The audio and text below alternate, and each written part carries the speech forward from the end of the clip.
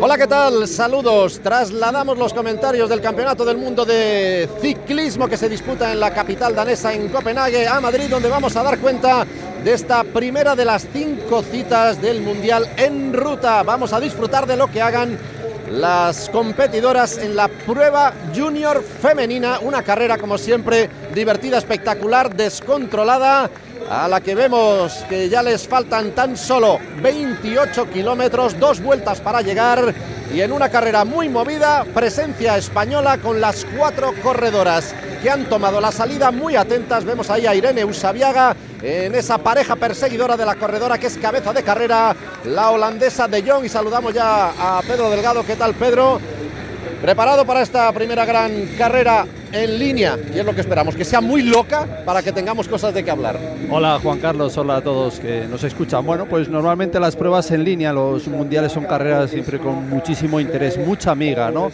Si acaso como referencia, ¿no? Respecto a otros mundiales, eh, la nota más destacada es el circuito. Este circuito aquí en Dinamarca no es un circuito exigente, tiene, bueno, sus repechos, pero no tiene esas cuestas que puede romper el pelotón.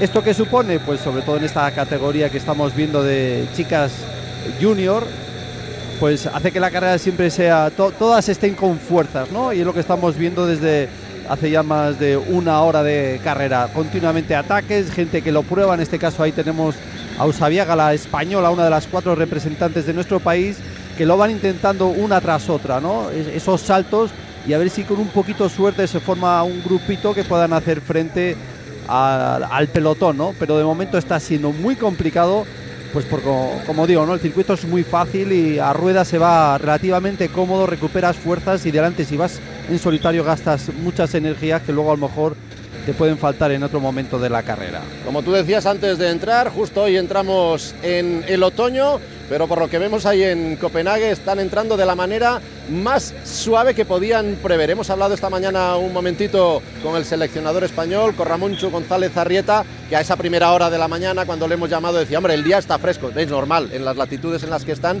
pero que pintaba muy bien el día, aunque él decía, a partir de mediodía el riesgo de la lluvia dicen que está presente, desde luego no lo parecería para nada en este momento de carrera. Estamos un poquito a las afueras de lo que es Copenhague, esto es Es un circuito de 14 kilómetros al que las chicas junior, eh, chicas nacidas en los años 93 y 94, tienen que dar cinco vueltas. Ya han completado tres de esas cinco, hacen un total de 70 kilómetros. Es un circuito, como decía Pedro, que no tiene más secreto, un par de kilómetros en diferentes puntos que van picando con un ligero desnivel hacia arriba. La línea de meta también pica para arriba. Recordemos, en el Mundial, en ninguna de las pruebas en línea. Hay la comunicación con los seleccionadores. Por radio, no hay el famoso pinganillo, todo lo que haya que decir va a ser a gritos en el paso por la línea de boxes y después alguna de las componentes del equipo que tome un poquito ese papel de jefa en, carrera, ¿no? Sí, pero hay que pensar que eso es así, ¿no? Pero sobre todo cuando cuentas con corredores con una cierta experiencia el hecho de esos bosses en dos puntos situados del circuito, pues bueno, claro, es muy rápido, ¿no? Son mensajes, tienen que ser mensajes cortos y que haya una cierta complicidad con el seleccionador. Y aunque lo hay, realmente también hay otras corredoras que quieren buscar ese consejo y realmente es complicado. Al fin y al cabo lo que va a tener que ser que cada uno interprete su papel, cómo va sus piernas, cómo ve la carrera, cómo tiene que, que probar fortuna, ¿no? Lo bonito de estas carreras es que, bueno, pues cuatro representantes por país, incluso menos corredoras, pues hace que sea una carrera muy individual. Que ahí el trabajo de equipo, exceptuando en la de élite hombres, la que llamamos profesionales, que ahí sí que hay un mayor número de corredores y se puede trabajar como equipo. Aquí cada uno es una lucha más individual. Tienes compañeras, que lógicamente es para apoyarte y sobre todo, pues en un día como hoy, que se presupone que va a ser una llegada al sprint o, o masiva, pues a lo mejor preparar un poquito el terreno a, su, a tu corredora más rápida, ahí sí que puede haber una labor de equipo, pero mientras tanto es correr un poquito como vemos. Ataca tú, ahora ataco yo, ahora te cojo y ahora seguimos atacando otras. Aquí está claro que este movimiento lo tenían hablado de unos metros antes las corredoras alemanas. Al salir de esa curva de 90 grados a izquierda donde siempre se produce ese látigo, ha habido el arreón de esa corredora alemana, aprovechando uno de esos tramos de ascenso en el circuito. Parece ya que va bastante madurita la corredora holandesa Talita de Jong, una de las que lo hizo muy bien el pasado lunes en esa primera prueba del Campeonato del Mundo, la contrarreloj individual junior femenina, la holandesa que fue cuarta en esa carrera que ganaba la australiana Jessica Allen por delante de la británica Elino Barker, tercera era la alemana Mieke Kroger y como decimos cuarta Talita de Jong, las alemanas que han hecho ese movimiento en la penúltima de las cinco vueltas y vamos a ver cuál es la estrategia de cada selección. En esas imágenes previas, antes justo de entrar con esta transmisión en directo, hemos visto que las cuatro componentes del equipo español estaban metidas ahí. Son Sheila Gutiérrez, Elena Lloret, Lourdes Ollarvide. Esas tres son eh, junior de primer año, la que ya es junior de segundo año, por tanto, último en esa categoría es Irene Usabiaga, la más veterana. Justo ayer cumplía 18 años. Vamos a ver si hoy se da ese regalito de cumpleaños.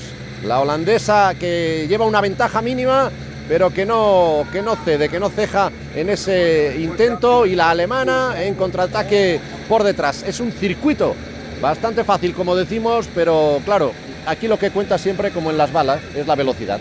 Es la, velocidad. Algunas corredoras que, van diciendo adiós a su participación. Pues la que ha abandonado es de las importantes, ¿eh? La francesa Mathilde Fabre bueno, pero comentar que bueno, el, el recorrido se ve siempre salpicado con algún que otro repecho, pero es muy favorable. O sea, la inercia que ejerce un pelotón hace que, marque mucha velocidad. Entonces, la situación es que si se escapa una, dos, incluso tres corredoras no es preocupante, ¿no? Al fin y al cabo, ese volumen que, hace el pelotón, que a lo mejor subiendo no crea tanta velocidad como las corredoras que, atacan, pero luego cogen una inercia, ¿no? En ese descenso y sobre todo que permita a muchas ir guardando fuerzas, ¿no? Así que esto en esta categoría de junior femenina, que, si acaso a lo mejor las fuerzas son más limitadas y eso hace que los repechos que hay en este circuito hagan más mella, ¿no? En, ellas. Pero viendo cómo se está conformando la carrera, pues eh, da pie a pensar que, bueno, pues esa llegada masiva, ¿no? A lo mejor en este caso, en esta categoría, que sean 30 la que disputen esas medallas, pues sea lo más factible, ¿no? Aunque vemos ahí un pequeño corte que se ha forjado. Hay un grupito de 10 corredores, así que puede crear un cierto temor ¿no? en ese pelotón, porque ya podía dar al traste con esa llegada más, más numerosa. Pues si la que va por delante es la holandesa Talita de Jong, como decimos, cuarta en esa contrarreloj junior femenina del primer día, la que abría el fuego de este campeonato del mundo, la que ha salido en contraataque es la que consiguió la medalla de bronce, la alemana Mieke Kroger. Aquí hay 26 países representados, 74 corredoras, prácticamente el doble de las que compitieron en la modalidad de contrarreloj. Y aquí sobre todo a la falta de ese pinganillo, la conexión por radio con las corredoras, pues lo que es muy importante también es la la estrategia previa, las conversaciones que se han tenido en los días anteriores, incluso en el último desayuno, de, bueno, a todo no vamos a poder salir, pero como decía Ramoncho González Arrieta, siempre hay algunas corredoras a las que va a haber que estar muy atento y ahí tampoco es que haya mucha, mucha sorpresa. Le ha dicho sobre todo dos nombres, Jessica Allen, la australiana, que es la campeona del mundo de contrarreloj y también que estén muy atentas a la italiana Rosela Rato, vigente campeona de Europa en las dos categorías, en contrarreloj y en línea, que son dos corredoras que, hay que vigilar y sobre todo la italiana, que es una corredora que siempre da, da mucho la cara, que es ofensiva y en realidad se proclamó campeona de Europa en solitario, casi con cinco minutos de ventaja sobre, sobre la segunda. O sea que, como es peleona, vamos a vigilarla. Vamos a vigilarla y sobre todo a tener más en cuenta, ¿no? Sobre todo en un circuito que, como digo, pues si le aguantas el primer envite, luego es fácil ya que, te lleve, porque luego el repecho se, acaba pronto, ¿no? Pero claro, hay que aguantar ese primer envite que es de categoría. Así, a grosso modo, pues hay que tener en cuenta eso. Australia, Holanda, Italia y, Alemania, ¿no? Yo creo como conjunto, sin llegar a decir que yo creo que se corra como equipo, el problema muchas veces eh, en esta categoría es que cada uno quiere su protagonismo inicial y, y cuesta trabajo a veces sacrificarte, ¿no? Pero que sí es verdad que cuando tú ves una compañera que va por delante, te da un poquito pie a tranquilidad que sean otras las que mueven la ficha, ¿no? Al menos ese respeto a, a, tus compañeros de equipo, eso siempre existe. ¿Sabes lo que me gusta de Talita de John? Ya lleva un rato en solitario por delante, con muy poquitos segundos de ventaja y no la he visto todavía mirar para atrás. ¿eh? Yo, yo a lo mío. Si alguien quiere venir, que venga. Se está formando ahí un quinteto, se ha formado de hecho un quinteto perseguidor con diferentes países representados, Gran Bretaña, Alemania, Italia, aquí las vemos. Esta que cierra el grupo es Elinor Barker, precisamente la subcampeona en esa contrarreloj. También la canadiense Annie Ewart. La mexicana Ingrid Drexel. Croege, suponemos que es la alemana. Y por parte italiana, María Giulia Confalonieri. Esas son las cinco corredoras que van en persecución de Talita de Jong. Vamos a ver si las corredoras españolas están también muy atentas a esos movimientos. Como vemos, las diferencias son mínimas, pero Pedro, en los campeonatos del mundo esas diferencias mínimas pueden ser importantísimas cuando falta lo que falta, que es vuelta y poco más. Estarán faltando unos 20 kilómetros, con lo cual aquí ya los cortes sí que pasan a ser peligrosos. Los cortes son todos peligrosos, sobre todo, insisto, cuando eh, se forme un grupo como se está forjando ahora, en torno a 10 corredoras, es problemático. Ahí vemos como la holandesa, a base de pundonor, de no mirar hacia adelante, o sea, perdón, no mirar hacia atrás, sigue con ese hueco mínimo, pero arrastra a, las demás, ¿no? Esto le permite que llegue una especie de selección y, bueno, forjen ahí una bonita escapada, ¿no? Luego habrá que ver si entre ellos o entre ellas se, entienden luego en a la hora de los relevos. Pero bueno, ya sí que parece que ya culminado esa neutralización de la corredora holandesa. Pero claro, aquí hay dudas. Y, lo de siempre. Nos miramos y ahora quién es eh, la lista, en este caso, que gasta más para intentar seguir dándole vida a este movimiento, aunque yo creo que la holandesa es la más decidida, ¿eh? yo creo que en ese sentido debe ser que las holandesas tienen como bastante clara la estrategia. Le tocará a Talita de Jong sacrificarse, ahora se va a esa parte trasera, como diciendo voy a recuperar un poquito el resuello, pero a la vez les meto presión, yo he sido la que me he castigado y ahora que sean otras, pero por detrás, como vemos, las diferencias son mínimas, pero siempre está ahí ese estirar de, goma de pollo, ¿no? Por delante, a ver quién, a ver quién pone un puntito más y siempre vamos a crear la duda por detrás de si hay alguna selección que quiere tomar la responsabilidad o no. Bueno, importante, ¿eh? El viento. El viento, ¿no? Ahí se le ve que entra con una cierta fuerza. Que bueno, eso siempre hace más muchas veces de freno, ¿no? Que de animosidad a la hora de acelerar. Aunque es verdad que, bueno, al ser, al ser, un circuito, el viento les va a entrar por todos lados, pero también es verdad que es un circuito bastante, bastante protegido, protegido resguardado del viento. Como ven, entre vegetación y casas, no, no hay más problemas. Bueno, ahí vemos pasar todos los nombres, Sheila Gutiérrez, Irene Usabiaga. Y había... Ah, vamos a ver. había, sí, había, había, más. Pero como vemos ahí hay ese mini corte de 7 segundos que siempre, que siempre es peligroso. Tres por lo menos estaban. Ahí está. Ollarvide. Lourdes Ollarvide. Ahí se ve dos al menos muy, muy delante eh, de, ese pelotón perseguidor. Lo que pasa siempre también en los campeonatos del mundo con muchas selecciones y España es una tercera. Y España es un ejemplo.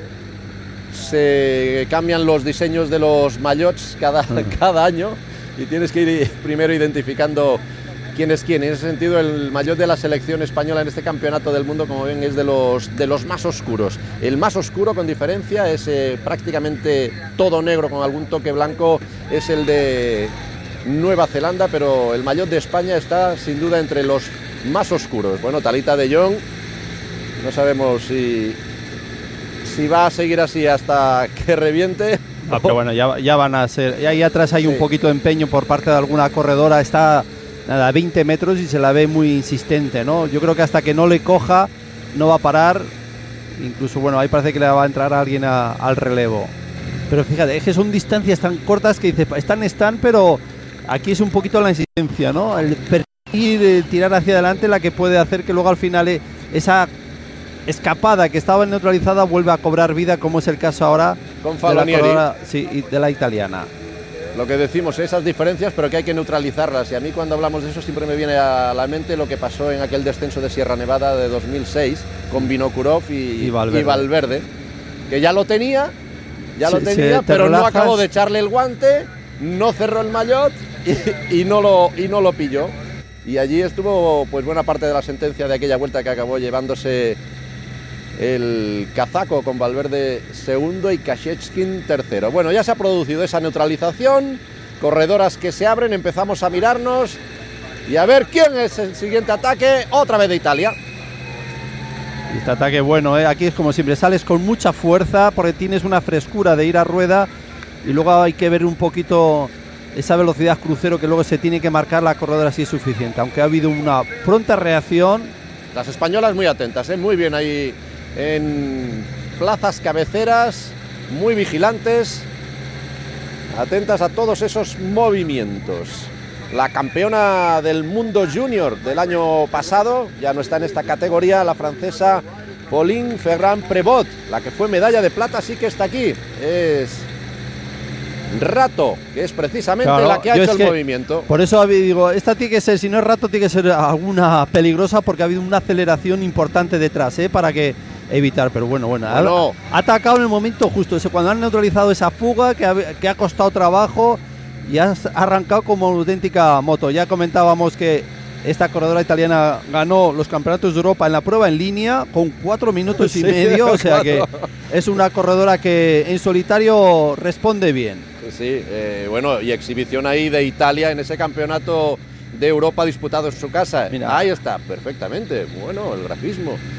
El arranque. Oye, ¿cómo te lo has currado, Juan Carlos, eh? Rato. Me tienes que comprar un bolígrafo de eso, o rojo o de otro color, me da igual. yo pensaba que eso lo pintaba en mi tele, pero, pero sale por todas. Sí, sí, gran movimiento de rato, ¿eh? como decía Pedro, campeona de Europa el pasado mes de julio en ese campeonato que se disputó en suelo italiano, en Ofida, una localidad, una ciudad muy relacionada con, el ciclismo, por lo menos en categorías inferiores. Y ahí ganó con cuatro minutos y medio de ventaja sobre la belga Jessie Druids, pero es que tercera, cuarta y quinta fueron también otras italianas, Chiara Banucci, Dalia Muccioli y María Giulia Confalonieri, la que estaba en ese anterior corte. Pues atención a esta corredora que es muy potente y que cuando arranca eh, es un cohete, no, no es un petardo lo que acostumbra a lanzar. Hombre, es que estaba mirando, es verdad que nos hemos fijado en la prueba en línea porque hoy es la prueba en línea, pero también en los campeonatos de Europa ganó la prueba contra Lo. Sí, sí, sí, las dos. O sea que, y hace poco he visto yo en una prueba contra Lo que hizo tercera, o sea que un ataque de esos que crea preocupación y vemos cómo las españolas por lo menos buscan también ese protagonismo. Rato que en, la prueba contrarreloj del pasado lunes, podría decirse que falló un poquito, no mucho, pero que falló un poquito, acabó quinta a 31 segundos de la vencedora de Jessica Allen. De momento las australianas escondidas. Bueno, eh, saben que es un circuito al final de que vas a rueda y que la velocidad y sobre todo la llegada, ¿eh? la llegada si ya todos los profesionales dicen que el circuito la complejidad que tiene es la llegada simplemente, porque pica para arriba ese último kilómetro y tiene una cierta dureza, pues lógicamente ahí si llegas con una frescura que no has gastado mucho en la carrera te, te puedes imponer, ¿no? Pero si esto si ya es problema para los profesionales, pues para estas categorías mucho más esa exigente ascensión, ¿no? Podamos decir que tiene este, este circuito y sobre todo ese final donde está situado la línea de meta. De las tres vueltas que han hecho, la más rápida ha sido la última, algo que acostumbra a suceder. La tercera la han hecho a una media de 39.200, la segunda 38.800 y la primera 38.200. Está clara la progresión.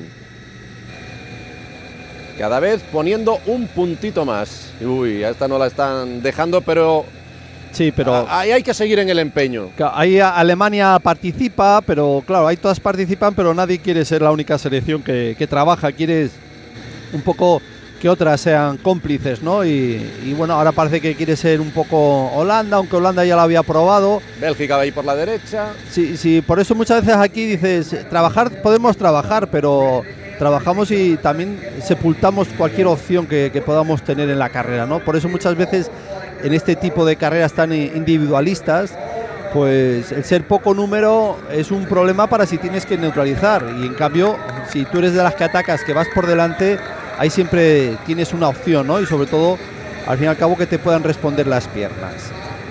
Pues rato jugando ahí con el cambio, seguramente subiendo una corona. Y Rusia,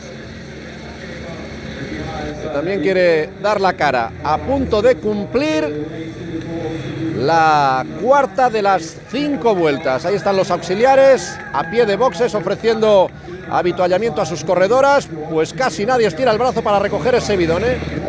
Muy metidas ya en carrera. 56 kilómetros pasando por la línea de meta, entrando en la última, en esos últimos 14 kilómetros. Es la prueba más corta de todas las de línea, estos 70 kilómetros. La siguiente más corta es la Junior masculina que se disputará este sábado sobre 126 kilómetros, ya muchos más.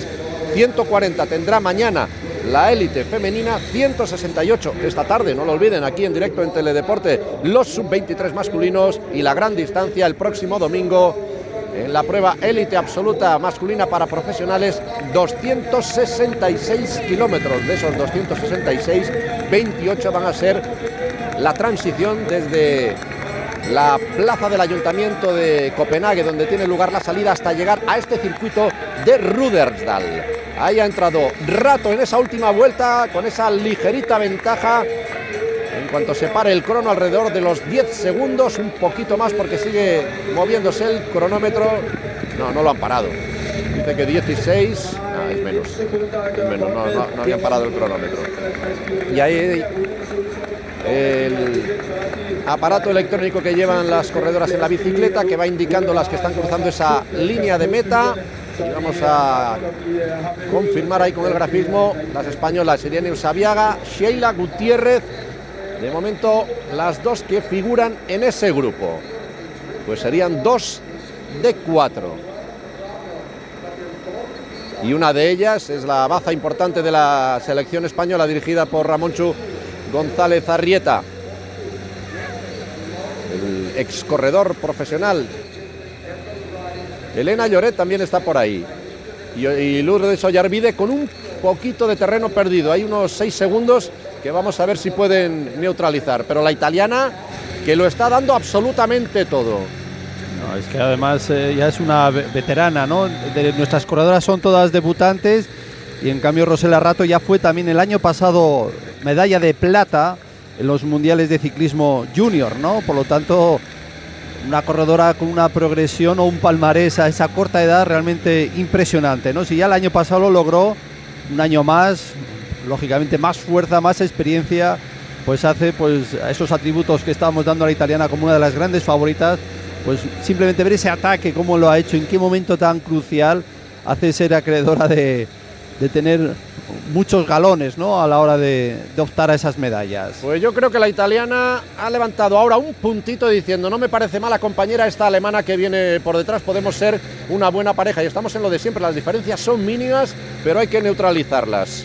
Cerrando este grupito, la rusa Svetlana Kashirina, una de las cuatro rusas, como decimos, la mayoría de selecciones con cuatro representantes, la que más, una más, Italia, que tiene cinco. Y entre las cuatro españolas, tres de primer año, Irene Usabiaga de segundo. Irene Usabiaga que el pasado año en el Mundial disputado también, donde se disputó este campeonato de Europa del pasado mes de julio en Ofida, en Italia, Irene Usabiaga el año pasado acabó vigésimo primera. Las otras fueron Bianca Martín, que acabó en la posición 37, Dorleta Escamendi en la 44 y de las cuatro españolas se retiró Tania Martínez.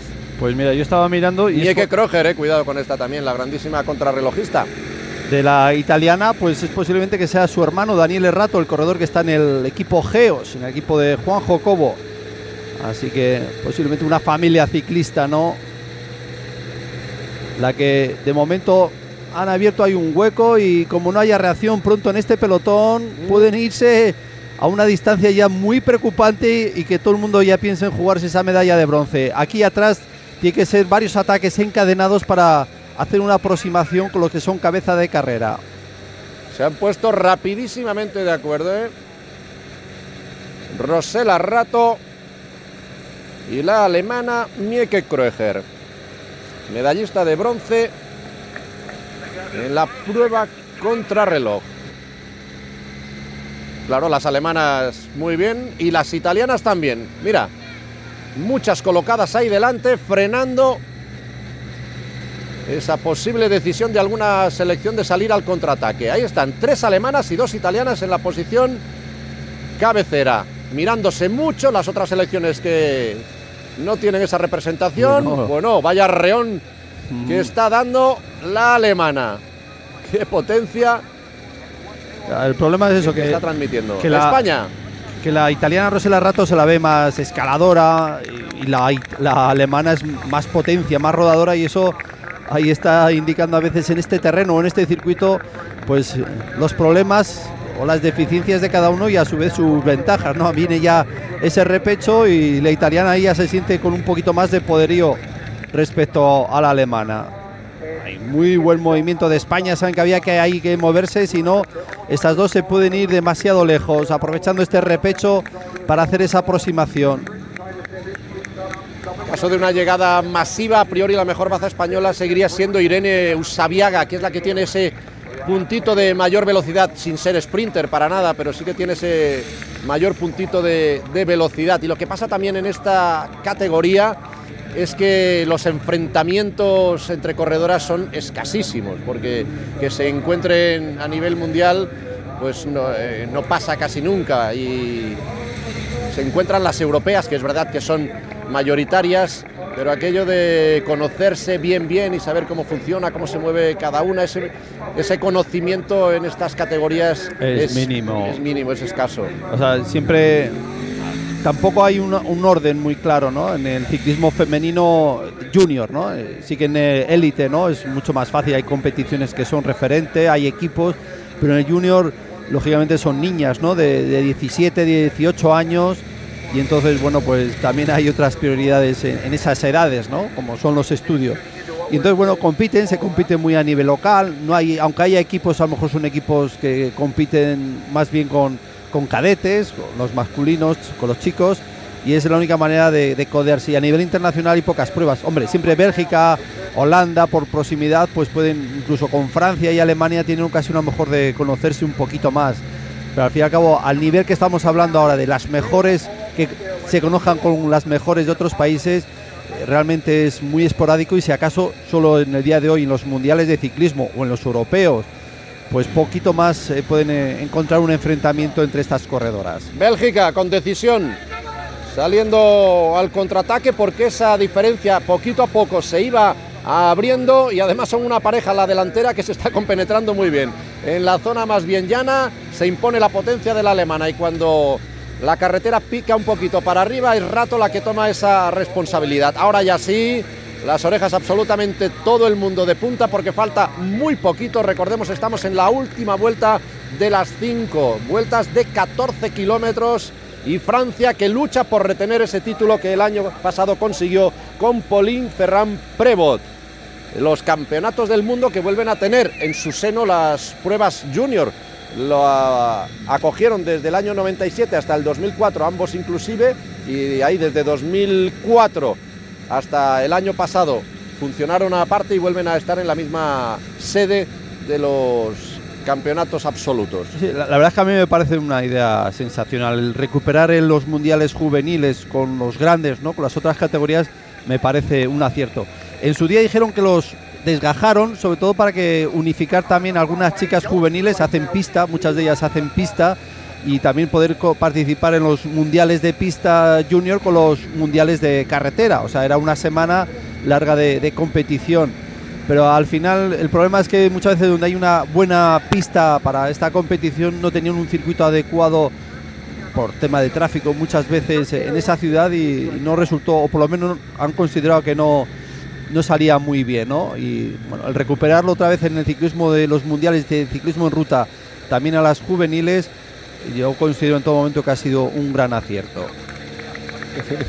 Los papeles están claros, ¿eh? Pica para arriba, la italiana. sí, sí, sí, están ahí. ya no, para abajo. Con penetradas, ahí sin. La alemana. Con gestos, con miradas, yo creo que no hace falta hablar mucho, ¿eh? Cada uno ya ha dejado claro dónde puede aportar su granito de arena en esta aventura, ¿no? Con ese viento de cara que pega ahora. Fuerte, en ¿eh? esa aventura de que por lo menos medallas tenemos las dos. Pues vamos a ver el trabajo de esa corredora belga si está reduciendo las diferencias que ya se habían ido hasta los 21 segundos. Esto es un mano a mano, ¿eh? Aquí ya la gente aquí va a empezar a pensar por el bronce.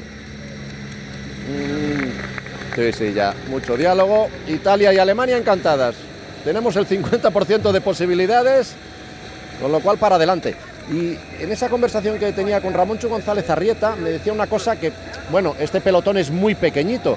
Pensando sobre todo el domingo en la prueba élite masculina, según él había zonas en las que el vallado, en lugar de haberse abierto un poquito, era demasiado estrecho. No sé si este podría ser un ejemplo. Pensando en un pelotón de 200 corredores, ahí va a haber mucho nervio, mucho manillar, y especialmente en las primeras vueltas, pero claro, también si es relativamente fácil eh, el recorrido y la velocidad no es mucha y llegan demasiado enteros al final, a eso hay puntos ahí estrechos que, como decimos, va a haber mucho meter manillar. ¿eh? Claro, si aquí estamos hablando de 70 corredoras, yo no sé si me parece haber visto en algún sitio que son 210 inscritos, ¿no? Profesionales, más volumen, o sea.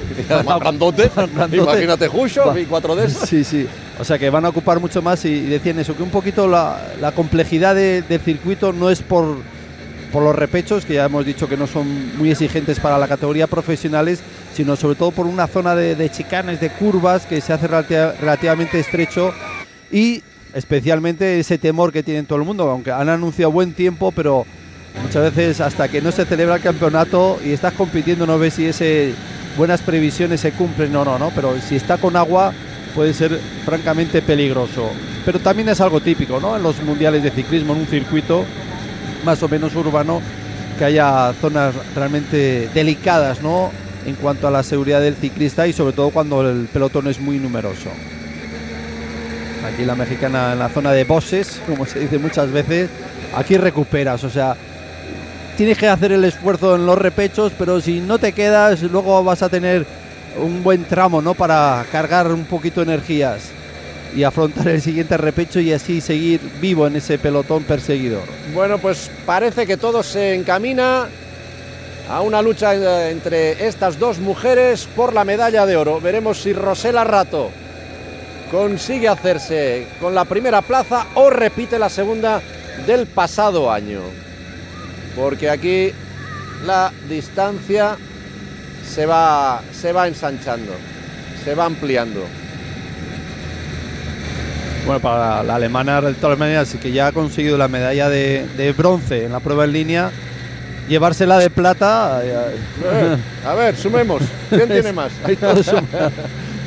Lógicamente luego la, del oro, ¿no? Es la importante. Es el, dos, el segundo y el tercero está bien, ¿no? Pero luego al final y siempre se va a recordar como ese mundial que, que triunfaste y que sobre todo llevas luego esa distinción, ¿no? De ese maillot arco iris en el resto de temporada, ¿no? En tu categoría, salvo que, bueno, pues en este caso eh, la, la tenía por aquí.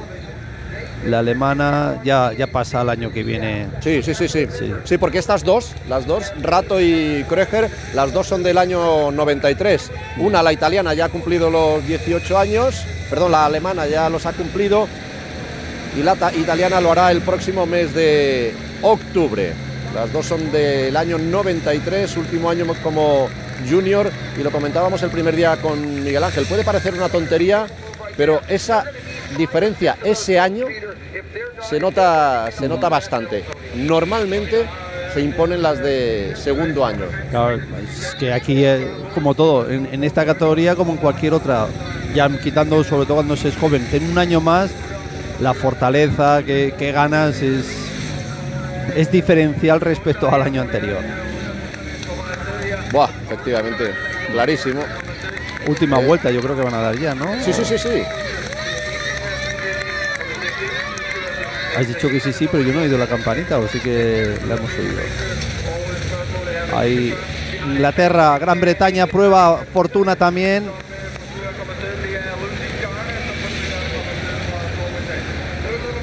Aquí ya lo, típico, bueno, esta corredora se ve que ha sufrido alguna caída, aunque hay un hilo de, sangre. No, no, por no ha pasado, lo de la campana no, pero quiero decir la distancia que se está, ah. que se está ampliando.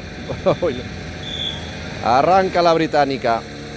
Viento a favor en esta zona. Claro, es un circuito, les da por todos los lados. Pero, fíjate, lo de las vallas que comentabas tú, igual que las tiene ahí un poquito por encima del bordillo, también es verdad que en, esa zona anterior que tú que hemos visto, sobre todo, que se hace un poquito estrecho, podrían haber metido las vallas un poquito. Sí, en, a tiempo el césped. Ya, pero eso no lo retiran, eso ya te lo digo yo. ir, a los mundiales y, ves diciendo, y esto, pues, si no les cuesta trabajo haber metido las vallas un poquito al otro lado y, ganas ahí 15, 20 centímetros de anchura en cada lado, que, que son es una distancia, sobre todo cuando ruedas en pelotón, que viene francamente bien para evitar peligros. Le ha llamado la atención a bastante gente eh, la organización. Piensas en Dinamarca, un país nórdico, serio, muy bien organizado, y han ido notando detalles de deficiencias en la, en la organización. Esto de las vallas, echarlas más para atrás. El primer día, el, el pasado fin de semana, sábado, domingo, esto se ha caído. ¿eh? Sí, sí, por eso decía. No, pero a lo mejor no es de hoy, a lo mejor es de otro día. Ah, Tienes ahí sangre. y se le ha abierto la, se la, Claro, se hace ahí la costra y luego con el pedaleo vuelve a abrirse, ¿no? Por eso muchas veces, para todos los que tienen una lesión, sobre todo una parte como es el codo, las rodillas, que, que la piel sufre sus estiramientos, es bueno antes de la competición darse un poquito de vaselina para suavizar un poquito esa costra, no resecarla demasiado y que, bueno, no le pase lo que le ha ocurrido en este caso a la, a la inglesa. Ah, pues sí. Se me ha acabado, se me ha hecho corta este mundial, ¿eh? muy corto. yo, yo quería dar otra vuelta. No, no, no, claro, tú estás fresco, con las piernas cruzadas. Ahí ven menos de cuatro kilómetros para culminar esa aventura de las dos corredoras que ya cantan casi de antes de tiempo, pero se puede decir con toda seguridad esas medallas que se van a repartir entre ellas. Las danesas se han despertado tarde. Claro, aquí al fin y al cabo es un poquito, estás en casa y te ves un poquito a, a dar la cara ¿no? En, última instancia. Bueno, ellos por lo menos ya tienen una medalla, el oro en la contrarreloj sub-23 masculina con Burs. Ya les ha dado pues esa alegría a Dinamarca. Estas ya están guardando ahí. Un minuto, vamos a guardar, vamos a guardar fuerzas que aunque no se lo digan, porque esos pinganillos, ellas ya están acostumbradas a correr sin pinganillos, porque de hecho solo lo pueden llevar los profesionales en las carreras UCI Pro Tour o sea, el resto de categorías eh, y carreras se compite sin pinganillo y en ese aspecto ya están un poco, un poco, ¿no? O están totalmente habituadas, ¿no? A, correr sin ese apoyo, ¿no? Pero bueno, también en las circunstancias que hay tampoco hay que ser muy inteligente para decir, bueno, aquí hay que guardar fuerzas. lo que decíamos, habían llegado a los 36 segundos, ahora están guardando un poquito. Atrás aceleran un poquito más. Y el trabajo de las danesas por detrás pues ha reducido a esos 25. a mí me parece que 25 me parece muy poco. O sea, visualmente en distancia yo, yo iría casi a los 40, ¿eh? Pero bueno, eso da igual. Yo creo que también detrás pueden estar. No se pueden dormir nunca, pero sobre todo están contando una ventaja más que aceptable. Ahí lo ven, enganchado en ese árbol el cartel indicador de los tres últimos kilómetros. Fuera bidones, fuera lastre. Ah, que estabais diciendo de la organización, pero eso no porque sea Copenhague, porque esto al fin y al cabo lo supervisa mucho la Unión Ciclista Internacional. y ya lo decía, por ejemplo, los problemas son, siempre han sido así. de los mismos. Yo, yo desde que. Bueno, los problemas van con la organización, ¿no? sí, yo creo que sí. No con la sede. Es complicado, ¿no? Poner 14 kilómetros que tiene el circuito, 14 kilómetros de valla, es complicado ponerlas adecuadamente, pero también es verdad que en puntos delicados sí que haría falta, ya que hay un supervisor, como en todo, ¿no? De la seguridad vial del ciclista en cuanto a la organización, ver tramos complicados, pues tratar de suavizar un poquito ese peligro. Pero yo creo que en los mundiales yo soy muy crítico con la Unión Ciclista Internacional, buscan el negocio y se despreocupan mucho de, historias que podría beneficiar al corredor. Por ejemplo, el pasado domingo, el día antes de empezar el campeonato, el circuito de contrarreloj ni estaba señalizado, ni estaba vallado. Decía, vamos a, vamos a, recorrer el circuito. Vamos a ver cómo es el circuito. Les van a acompañar dos, dos gendarmes. Hombre, no, nosotros queremos ir en coche acompañándola. No, no, no pueden ustedes. Dice, bueno, cogías otra calle y 100 metros más adelante ya te incorporabas como si estuvieras haciendo circulación normal, con ese punto de dificultad y riesgo. Es verdad que es una gran ciudad sí, pero espera, eh, Juan, pero en ese aspecto yo, fíjate, a mí me parece bien, o sea, tú ya que pagas una pasta gansa por hacer, organizar estos mundiales, por lo menos se ve a tu ciudad, en Copenhague, ¿no? Y me parece bien que lo metan en el centro con un inconveniente para el corredor, pero al fin y al cabo, tú que pagas, por lo menos que se vea un poquito tu ciudad, no como otros mundiales que te los llevan allí en un rincón de, ninguna parte, ¿no? Y yo creo que eso es bueno, ¿no? Ya que lo haces, que se vea tu centro histórico, que la ciudad, te guste o no el ciclismo, lo palpite, ¿no? el momento este de tener un mundial de, ciclismo. Pues el desenlace va a ser algo parecido al del Mundial Junior en ruta del año pasado. ¿eh? Aquí van a luchar dos, el año pasado lucharon, lucharon cuatro, porque en ese sprint se impuso la francesa Pauline Ferrand-Prevot a Rosela Rato, tercera fue la estadounidense Corinne Rivera y cuarta la ucraniana Hanna Solovey. Después ya llegaron a 16, 20 segundos y el resto a más de un minuto. O sea que es ah, pues. relativamente habitual que se reduzcan mucho esa distancia. Sí, pero ya sabe lo que pasa a veces con, con estos planos, ¿eh? que parece que están más cerca. No, es que el problema es rematar, ¿no? O sea, decir, si yo gasto aquí para coger, eh, gasto para decir adiós a mis opciones, ¿eh? Aquí es un poquito la sangre fría, ¿eh? Ahí siempre las italianas tienen ese puntito, ¿no? Que, de inspiración, de, cultura de este deporte que hacen siempre manejar, manejarse con más sangre fría, ¿eh? Llegados a este punto me gustaría que hubiera un sprint. Han ido racaneando las dos de delante, pues nada, a ver si todavía se duermen un poquito más de la cuenta y les Ahí echan vemos a Seila Gutiérrez, ¿eh? también que quiere progresar, quiere hacer poner su granito de arena a la española para acercar a las dos escapadas.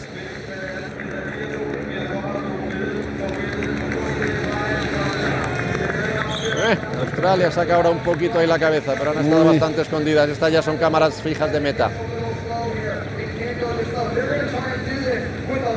Ahí, también atrás, hay ese momento de cargar las pilas para el sprint y, es un poquito ese margen ¿no? que, tienen las... Qué bonito sería oír ahora ese bajar de coronas. ¿eh? Lo que pasa es que estas tienen menos coronas. Tienen menos, sí. 14 la, bueno, bueno, pues van a, pues las van a echar pues mano, ¿eh? La sangre fría de la, la italiana, va a arrancar. Sí, a, la tarde, están ahí, están ahí. Sí, sí, va a lanzar para el sprint, ¿eh? Bueno, bueno, mira la mesa cómo está progresando. Vamos a ver, ahí hay una corredora española por la parte derecha de la imagen, pero que no está progresando todo lo que había de esperar. Ah, bueno, ahí está, bueno, ahí está, plaza la corredora española. Vamos a ver estar... todavía puede llegar una medalla para la delegación española. Ah, qué larga, qué dura se hace esta llegada. Vamos a ver que la, Aquí la rusa no va a llegar tampoco. Pero está ¿eh? aguantando, está, aguantando. ¡Oh! ¡Uy! emoción! 100 metros, 150 metros. ¡Ay! Las otras están ahí, ha reventado ya, ¿eh? Pero está aguantando, ¿eh? ¡Ay! ¡Ay vamos! No, victoria para la corredora británica. Fíjate, al final séptima, la plata para Bélgica. ¡Oh! Qué poquito ha faltado, qué poquito ha faltado para que llegara esa primera medalla para la delegación española en estos campeonatos del mundo. El triunfo para Gran Bretaña en una carrera muy rara en su desenlace porque tenían una clara ventaja estas dos corredoras, la italiana Rato, la alemana Kröger, han ido racaneando, han ido gestionando demasiado esa ventaja que tenían y al final triunfo para Gran Bretaña, para esta corredora absolutamente, absolutamente emocionada, en buena lógica, como diciendo, he ganado yo.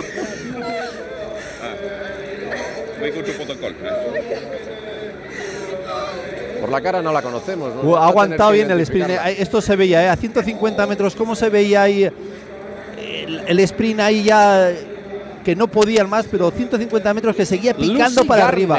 Lucy Garner, la campeona del mundo, la que ha cogido el relevo de la francesa Prevot.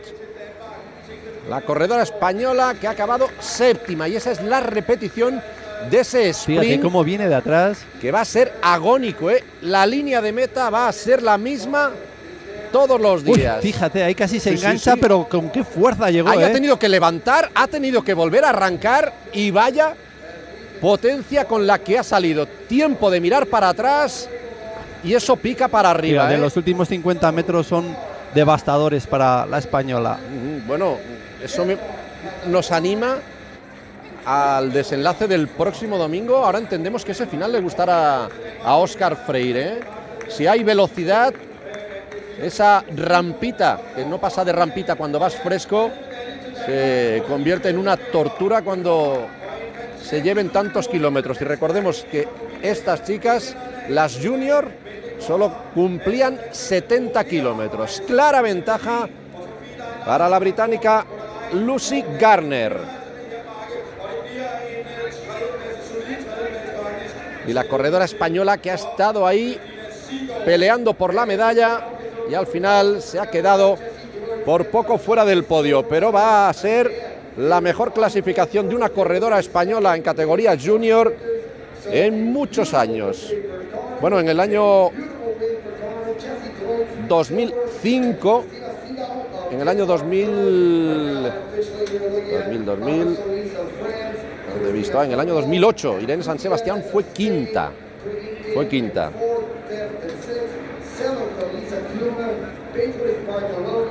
Estamos mirando aquí un poquito que Lucy Garner ya ha sido reconocida en su país como un gran talento del ciclismo y después de lo logrado en el día de hoy ya lo va a poder confirmar. Eso lo consiguió ya cuando tenía solo 14 años. Sheila Gutiérrez ¿eh? es la que ha estado ahí peleando. Al final sexta, Lucy Garner, Jessie Druids.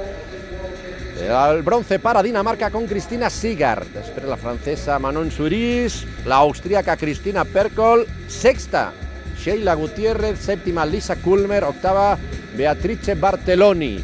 Bueno, pues al final los nombres de las favoritas que han quedado bastante, bastante retrasados, ¿eh?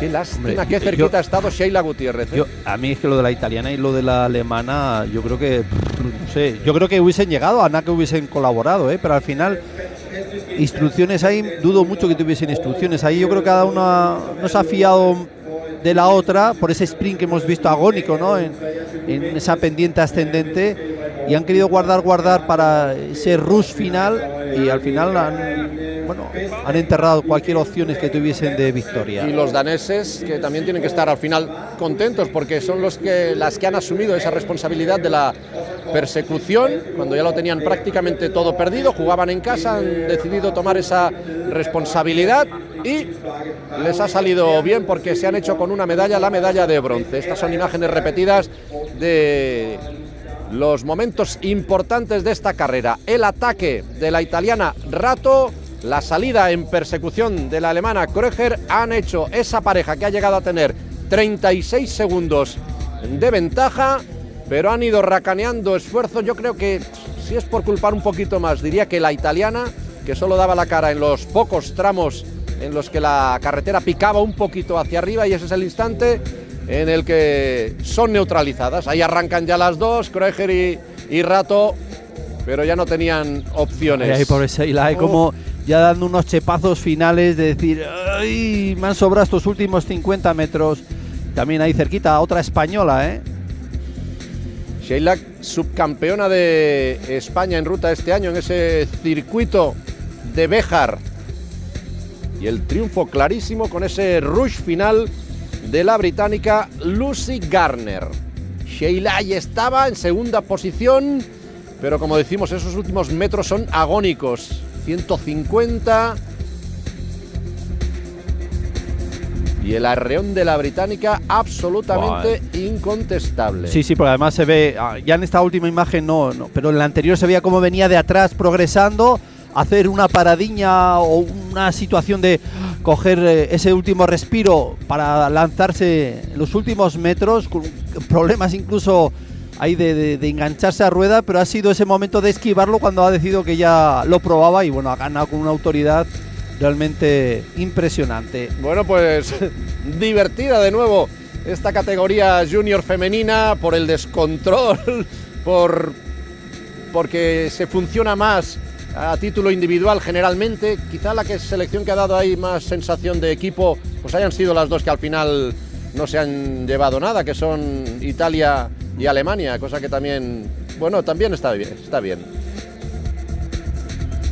Ese es el momento en el que arrancaban las 74, las 74 participantes en esta carrera junior, 70 kilómetros, 5 vueltas a este circuito de 14 kilómetros, que como decimos siempre, Pedro, sí, un circuito fácil, pero si la velocidad es mucha, castiga y va a castigar mucho y sobre todo en los élite masculinos por los nervios de intentar estar bien colocado en esas zonas donde, donde hay bastante estrechez.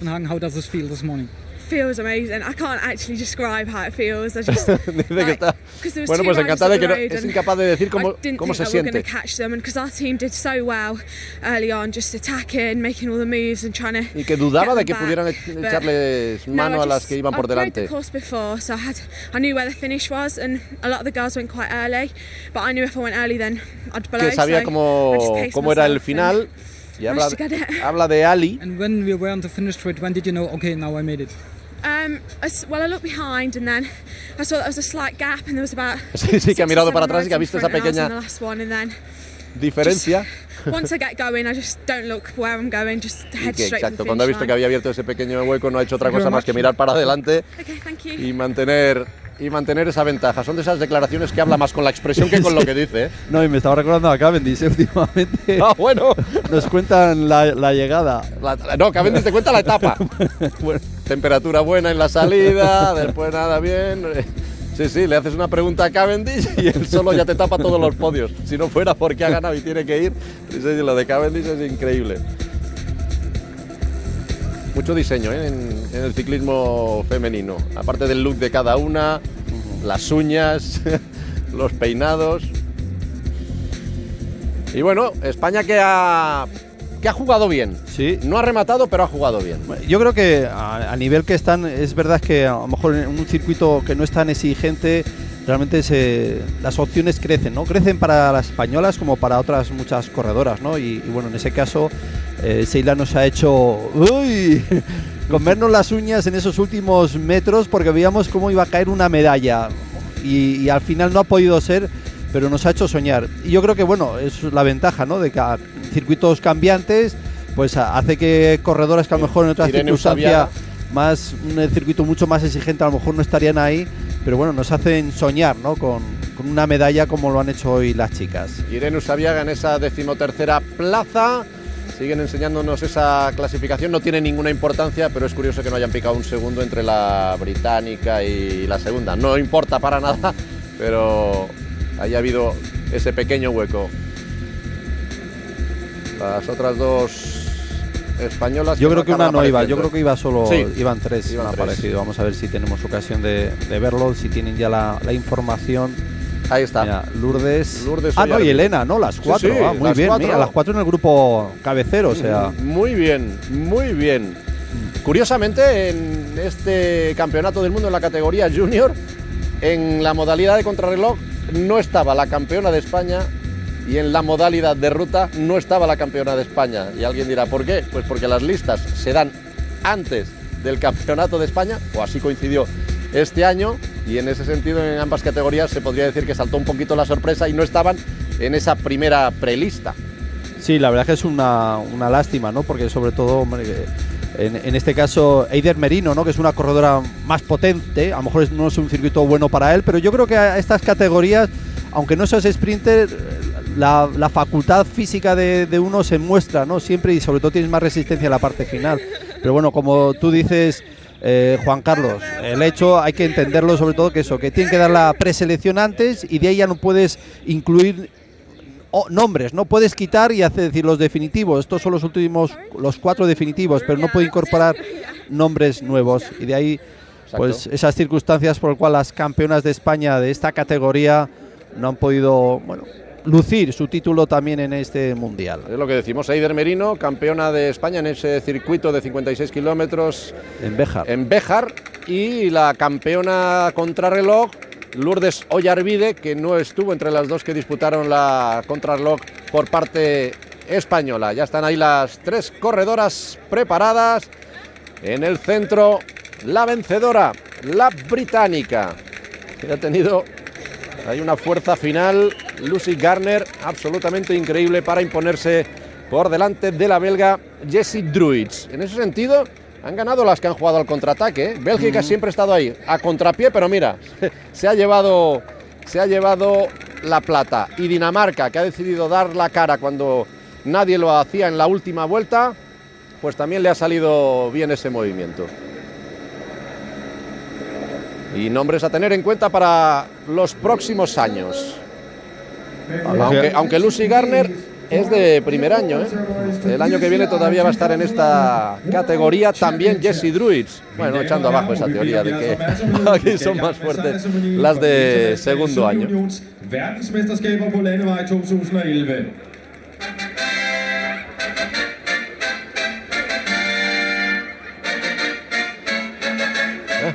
Rompiera un poco el sonido, ¿eh? no, suenan muy finas esas fanfarrias.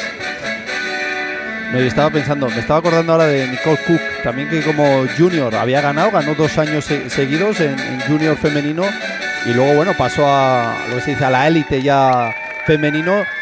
Le costó trabajo, porque lógicamente aquí no hay una categoría amateur, ya pasan de juveniles a élite y claro, ahí hay corres con, con ciclistas que tienen 10 años más que tú, mucho más hechas y, cuesta trabajo, ¿no? Pero Nicole Cook que paisana de esta corredora que, que también consiguió el no va más ¿no? en esta categoría y luego sigue siendo una de las grandes protagonistas del ciclismo femenino internacional. Nicole Cook, que fue campeona del mundo junior en el 2000 en Ploué, en Francia, y en 2001 en Lisboa, donde Freire consiguió el segundo de los tres títulos que tiene.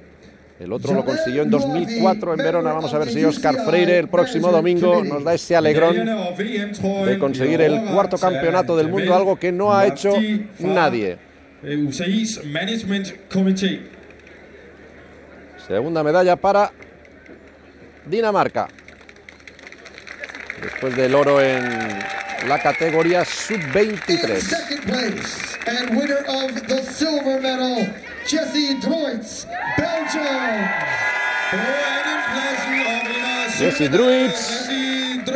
nacida el 22 de enero del 94. En ese sentido, las jovencitas de la categoría, las de primer año, las del año 94,